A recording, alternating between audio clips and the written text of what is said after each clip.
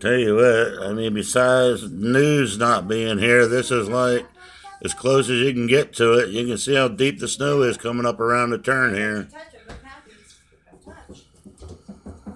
Happy get mad. He was re- he was responding to a house fire. As far as I know, he was responding to a house fire.